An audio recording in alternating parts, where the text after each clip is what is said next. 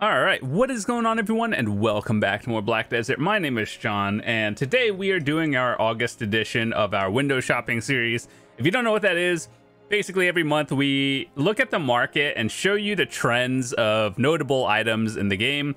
And whether you are a new player or a console player, I want to talk about items that I think might be good into your progression.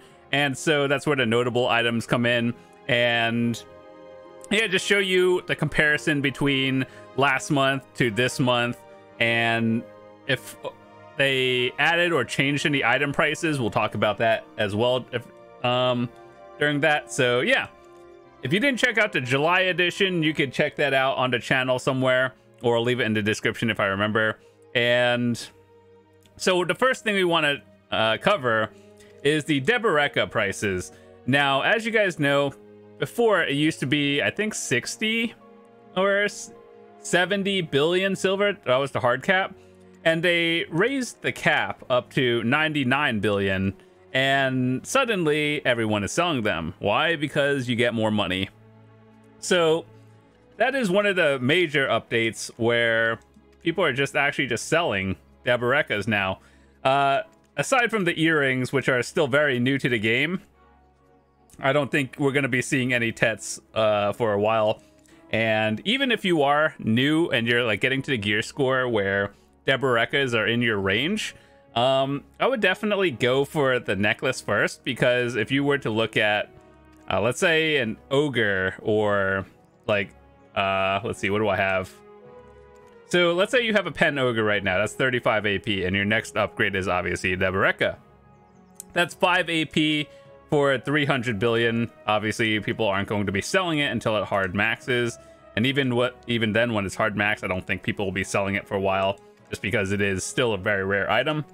Um, whereas if you are looking at a belt from 300 mil at the hard cap, you're going up 4 AP and 3 AP if you already have a Tungrad. So it is technically less value if you are going for a belt and I would definitely go for a necklace first because that's just more stats for the same amount of silver.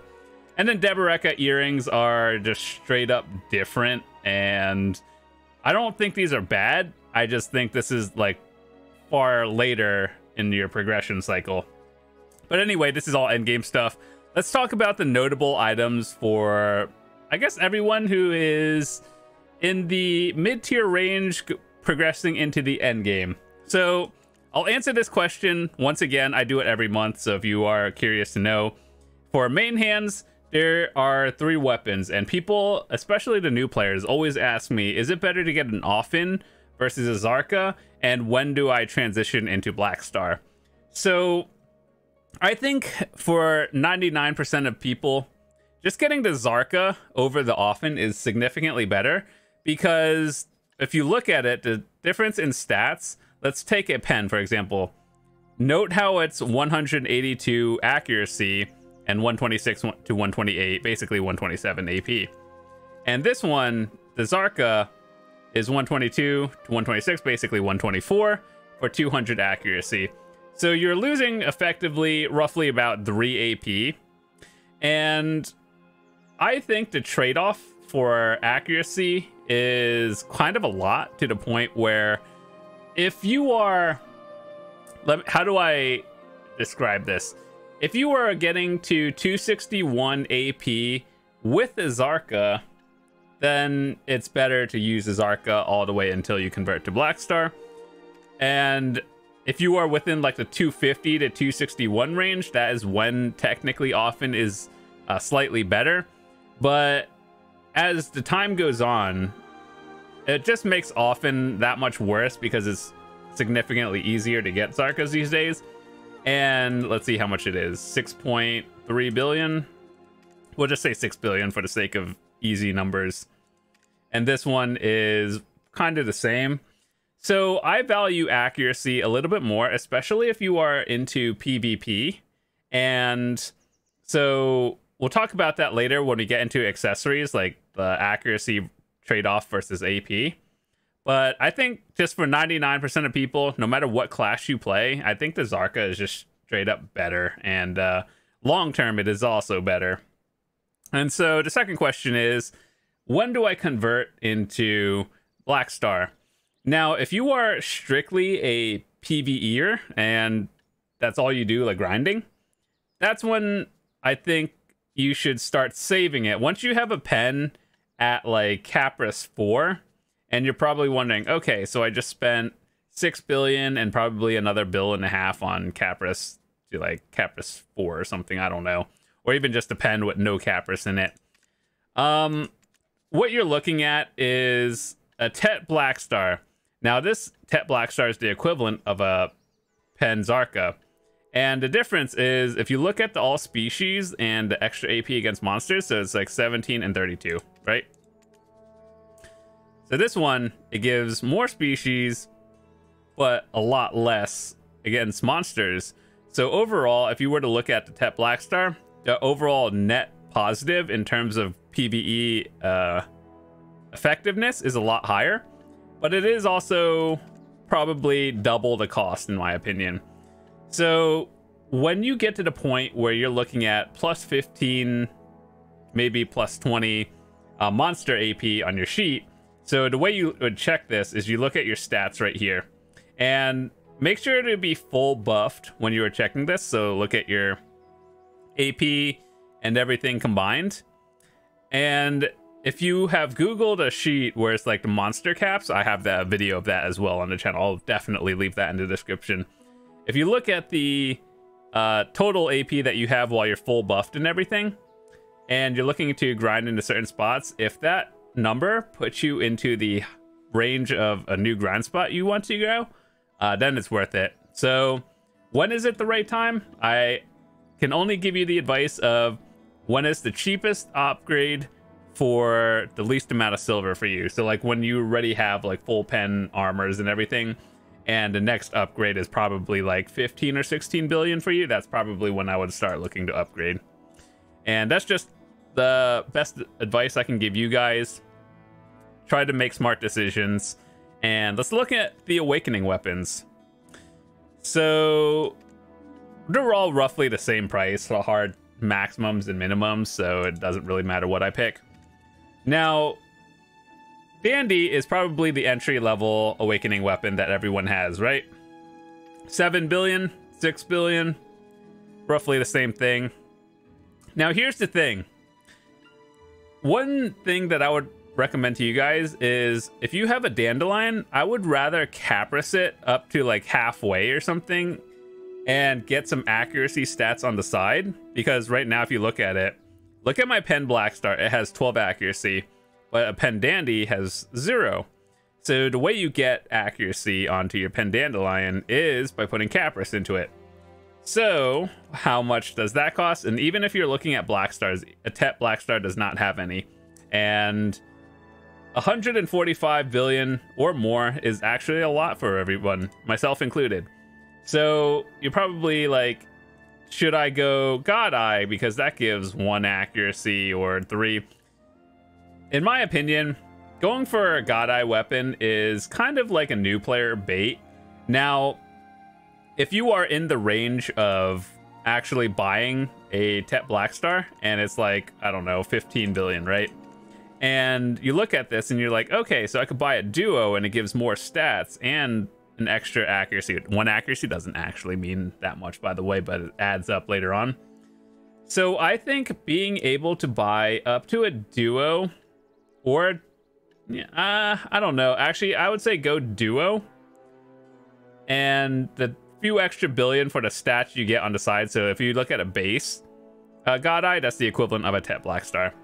And so spending 3 billion more from a base to duo or three or four billion for the extra three AP, that's a good deal. But just know that when you get your pen Black Star eventually, you're going to be losing money by selling it back. So that's the trade off. You're getting temporary stats. And um, what I've seen people do is cron duo to try. I wouldn't really recommend cronning or really enhancing try to tet at all. Just because like the rates and people have done the math and statistically it's not really worth it if you get lucky obviously it's good but for a majority of players, um, it's not really worth the value because once you get taxed on this, you're losing like 10 billion or actually no, probably like 9 billion if you sell it for 60, which is kind of hard actually. I don't know. You could sell for 60, but just know you're losing like almost 10 billion silver on that tax. And um so yeah, if you can get it to try, I think that's where the hard stopping point is. And then you just keep try until you can get either a pen God Eye or a pen Black Star, same thing. And um, that's my thoughts on the God Eye and Black Star. And if you're planning on enhancing it yourself, realistically, the most effective way is saving your tet, slamming your slamming it to 10 pen when you have enough cron stones because it, it is a higher enhanced chance. It does cost more crons, but like it just doesn't feel as bad. So and monetarily, if you do the math of it on whatever stack you're using, chances are it's going to add up to uh, being cheaper for effectiveness from going Tet to Pen Black Star than God Eye. Also, also it's all pretty easy to get a Tet Black Star these days. And if you put an order at minimum for basically any class, you can get it within 24 hours, at least on the NA server. So that's my opinion. Uh, as a new new player to like mid tier player, just get a dandy depend, Caphras it to like four or something, and then transition into Black Star when you well, that's your next cheapest option. So next thing we want to talk about is of course sub weapons. This one is a little bit tricky to do because uh, there are a lot more choices, and especially if you're playing different classes, sometimes you have an accuracy offhand, you have an evasion offhand, you have your PvP and PvE option as well. So ask yourself what you do in this game. Do you PvE? Do you PvP? Do you do everything? Um, and then pick the one that works for you. So as an entry level, I would recommend Kutum to most people because the Kutum allows you to grind, you know, significantly faster. You do more damage, meaning you make more money an hour, and that's obviously good. And then when you do PvP, it really depends on what classes you do. Like if you are a DAR class or damage reduction, chances are you're going to be doing or using a Nouver when you're PvPing. And if you are like an evasion class, um, then obviously you'd be using an evasion offhand or something. And I do think that some people actually do use black stars for PvP, but that's one of those weird endgame things where like it, it doesn't really matter. And once again, um, it's better to get your Kutum to pen and just Caphras it over getting a Tet Blackstar. The amount of stats you get over here is it's not really that noticeable. Obviously, it is more, but it's not like a significant change compared to main hands and awakenings. So, also, my stance stays the same as for Black Stars and God Eyes, even for the main hand or the offhand weapon as well. So, as we talked about for the Awakenings, my stance is basically the same thing. All right. Um. Next, let's talk about the armors. I'm gonna try to speed through this one because a lot of this is very repetitive. So, your ultimate goal is to get the Labreska helm, Fallen God, and the Dance gloves or the Dawn gloves.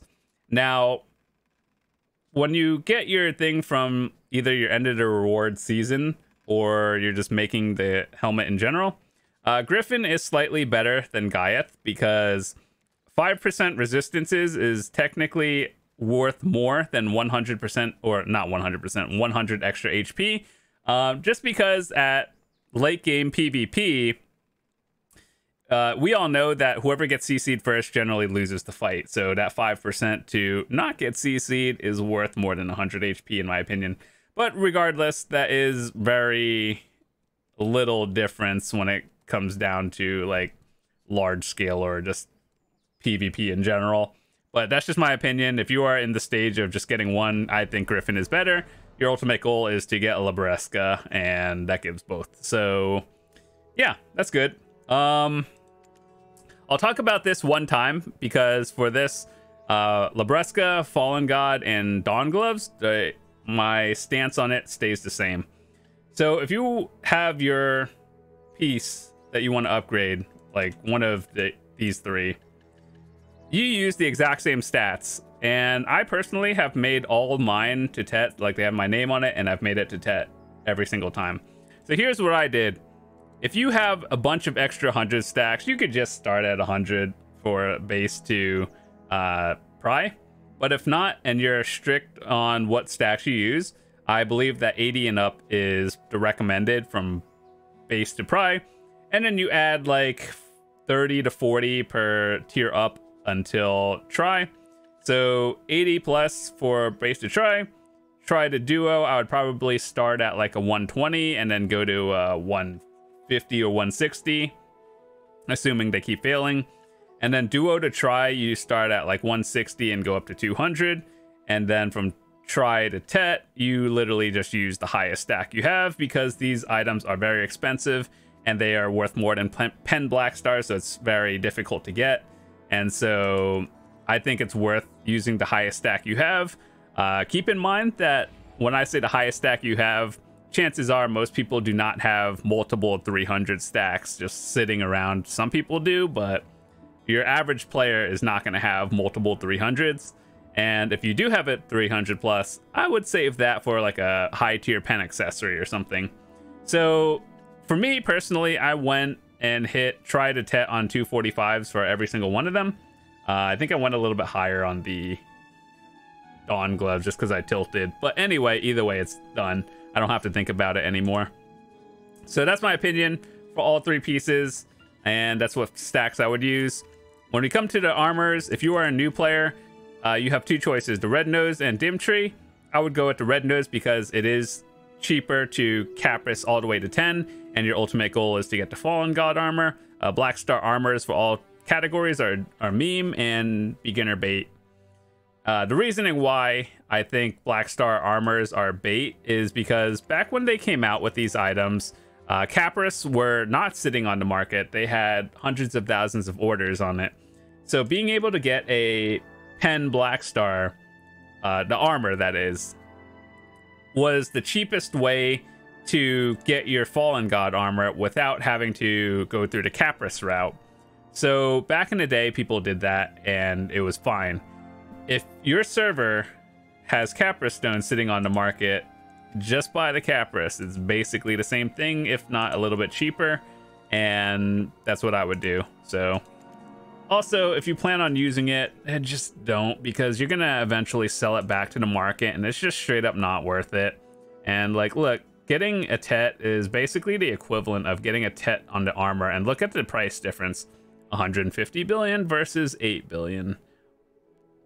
And obviously that's not like a one-to-one -one comparison but like if I were to compare a Tet Black Star to a pen armor with Caphras 10, it is a lot more. Like this is so easy to get, you just buy it. But anyway, I would go with the red nose route because uh, it is cheaper to Caphras, but it also depends. Keep in mind, just look at the price of it and then compare it to how much it costs from Caphras uh, 0 to 10. So this is something you're going to have to do a little bit of math on, like if the dim tree is 7 billion and the red nose is 11 billion, make sure to do the math on how much Caphras stones cost, and it might actually be cheaper to do it. But assuming they were the same price, then the red nose is always better. Or if you just go the route of straight up just buying the Fallen God armor at Pry and then slamming it yourself, once again, same concept I just explained, and it's good to go. Okay, so there, here's where things change. Um, I do believe that Liebers and Beg's gloves are okay. Maybe not. The price changed a little bit. So, you know the whole general rule of should I go evasion versus should I go DR? If you have to ask, you probably just go DR.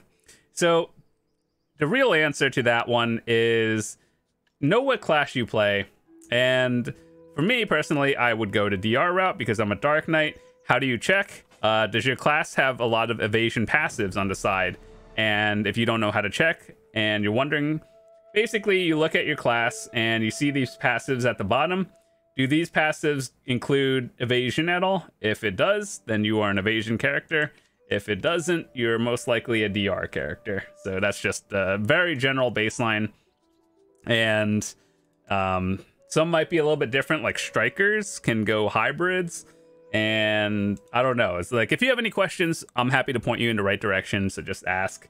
But Libers are evasion builds. Uh, Bags is DR. Your ultimate goal is to get the new uh, Dawn gloves, and blue is the equivalent of a Begs, and green is the equivalent of Libers Invasion DR. And my stance on the gloves, Black Star armors, they all are the same. So, like for me personally, I use the blue ones because they're DR. So right now, um, shoes are not available for like the upgrade yet. Muskans are evasion, Urugons are DR. Let's see, 11 billion or 12 billion and there's none on the market. Evasion, 8 billion, and you can buy them. So I know that people may be tempted to buy one because it's like 4 billion cheaper. But trust me when I say that it's not really as easy as it sounds because these stats actually do add up. And so it's probably better to wait and save up a little bit more, even though some of them might just be available to buy. And you'll just like for example here's what i think a new player's mentality would be like. Okay so muskin shoes 77 dp it's the biggest number on the screen. That's what they look at but you have to really look at the evasion and damage reductions the small numbers under it and so like it's different and hard to compare whereas if you look at a pen Urugons what i think most people will look at is big DP number 79. People think that's obviously better.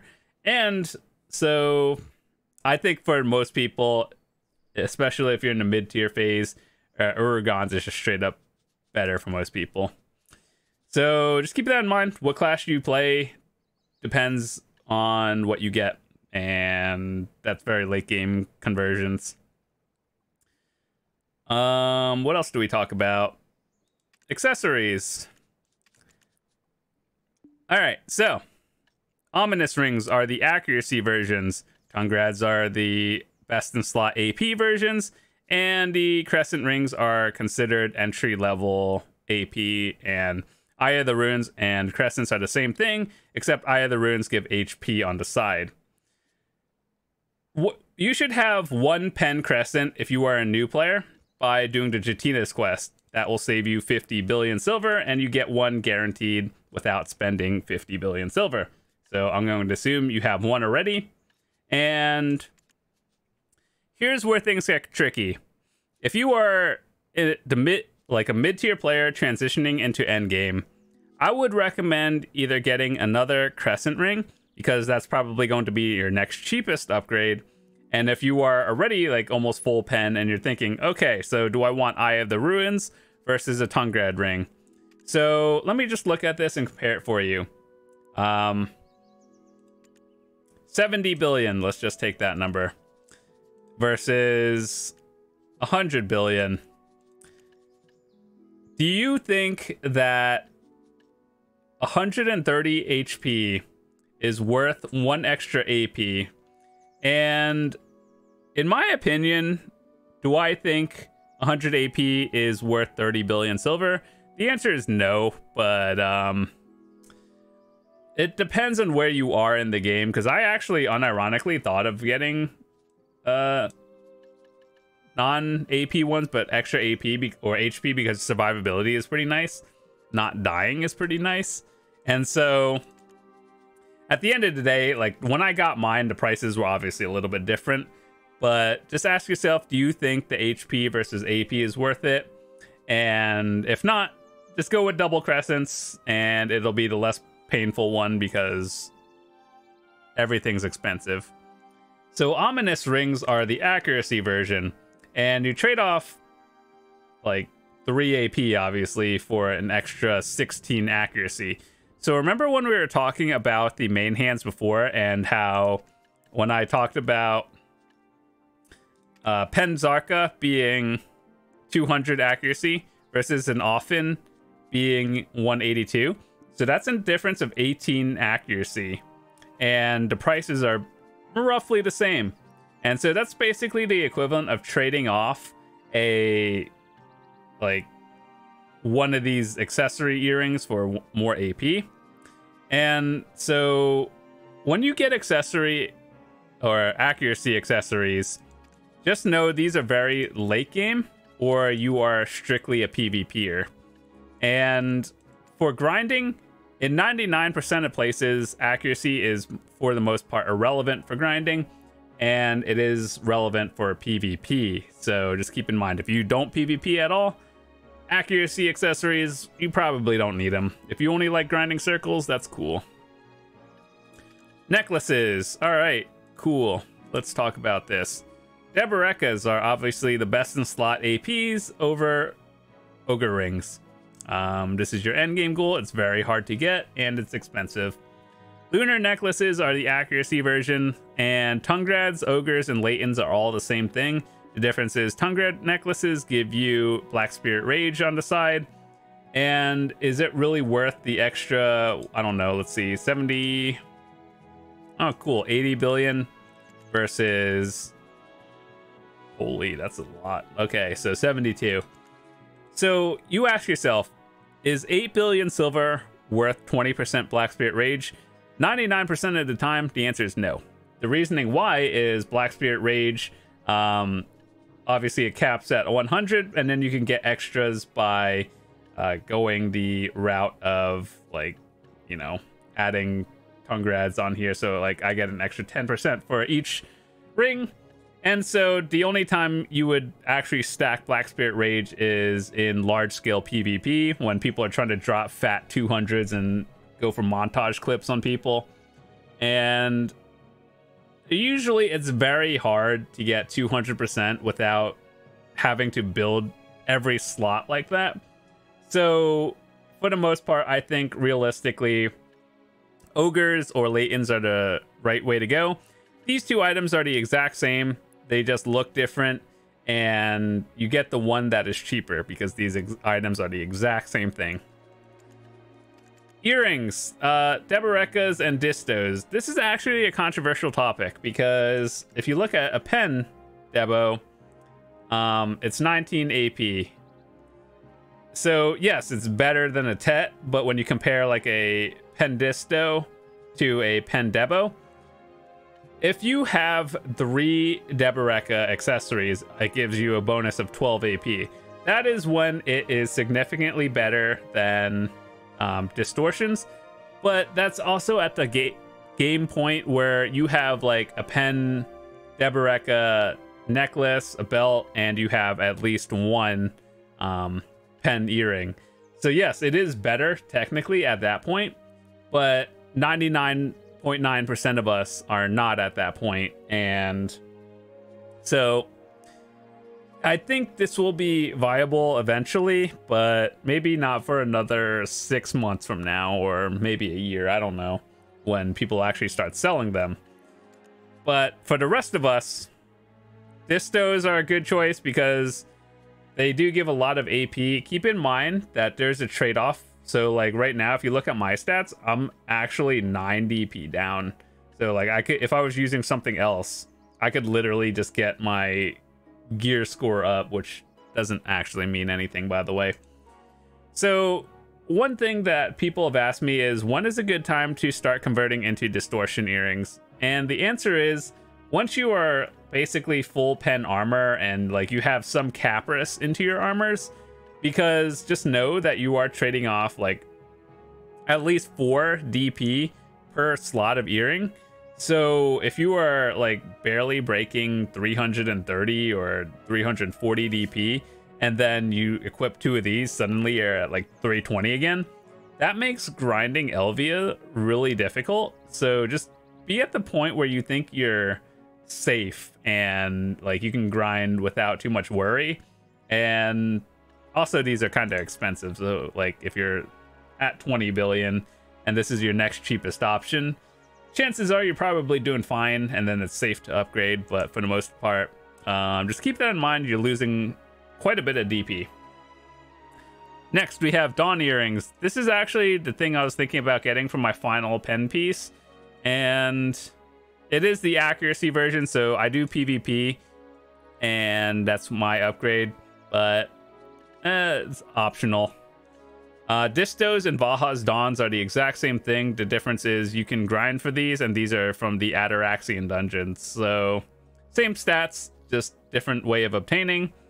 Uh, Narc Earring, you can choose one of these from the Jetina, and I don't think it's a bad option.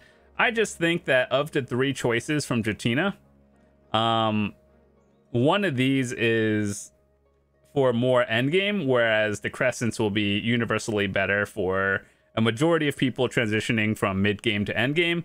So even if you chose the other one, it's not a big deal. You can always just change it at any given time. It just costs like a bit of silver or something to convert them.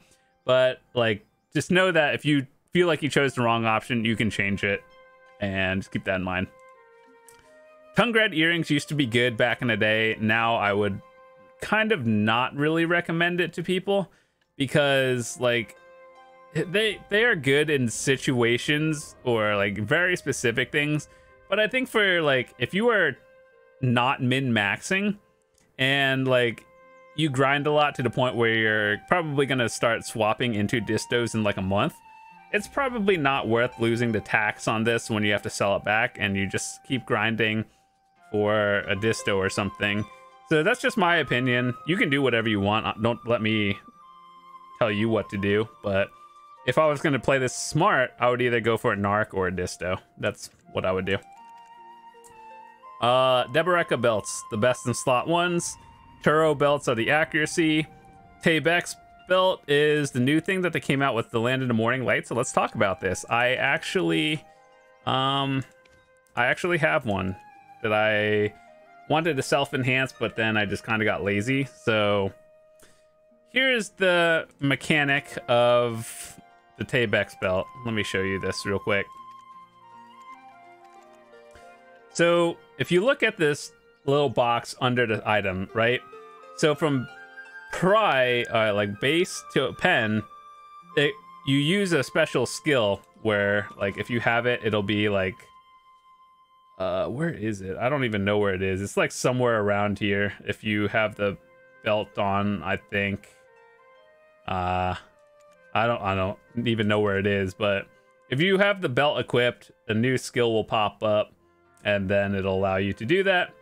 So is it really worth it? The answer universally is no. so anyway, um, if you're thinking about getting it, just know it's a meme and I if I were to actually try to think about this and be like, why did they create this belt? So let's look at it. Right now I have a Pen Valtarra, that's 20 AP.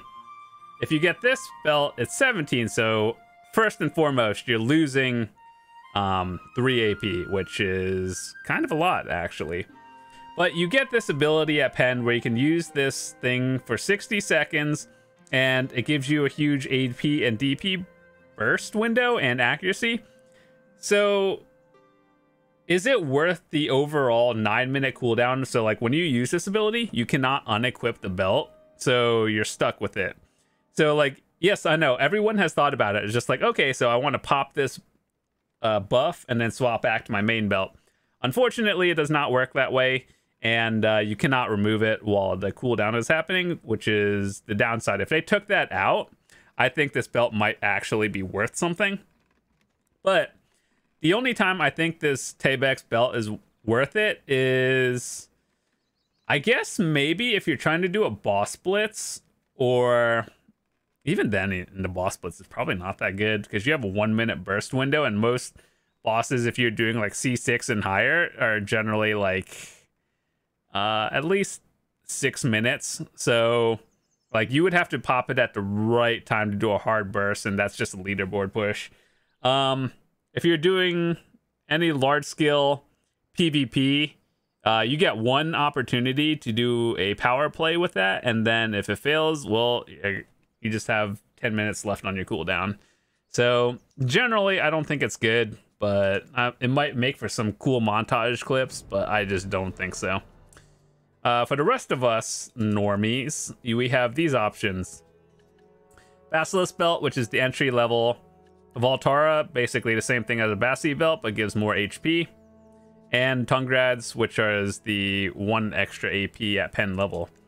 I don't think Tungrad belts are worth it at all because getting one AP on a Tungrad belt for the price is like, okay, so like 75 billion, okay? And then over here is 50 billion. So is one AP worth 20 billion to you? Generally, I don't think so. So I say that, but I have also Tungrad rings, but I also bought them at a different price. So just keep that in mind. If it's worth it to you, if it puts you in a new bracket, it might be. But generally, I think I'd rather choose the survivability over um, one extra AP. That's just how it is in this game. If you know, you know. But yeah, uh, this video is going on really long, actually. And a few other things I want to talk about are alchemy stones. If you are a new player, don't be afraid to use these stones at all, mostly these three, because using one is better than not using one. They're disposable, you get 50 uses, and then you just buy a new one. When you're at the point where you're thinking of actually upgrading, I think getting a Sharp, if you can, is a good idea, and then follow it up directly with a Vell's or a Splendid. Uh, I do know that Splendids are very difficult to get, and Vells are generally like the universal one that will put you up into a new bracket. So I think for 99% of players, getting a Vell's Heart all the way to endgame is not a bad idea, myself included. And then you start upgrading it. And for the 1% top players, um, well, your goal is to get one of these, and I want to get one too. So I could go on a video of like talking about is a Splendid versus a Vell's Heart worth it? And to me, I do think so because the effects are actually a lot better. Keep in mind, you have to be into 1% like top geared players for this to matter. For everyone else, just a Vell's Heart and you'll be fine. And even like it does, even if you have a Splendid, it's just that very small push forward. It's not going to save you from like any I don't know. Just like it's a small push, you'll notice it, but it's not saving you from PvP.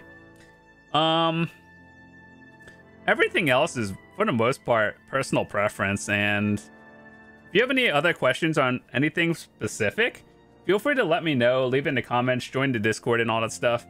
And before I head out, I just want to say thank you guys so much for watching this video. I know it's been almost 40 minutes, so I'll leave some timestamps in the description. So if you are looking at something in particular, or you just want to watch something over again, you can do that.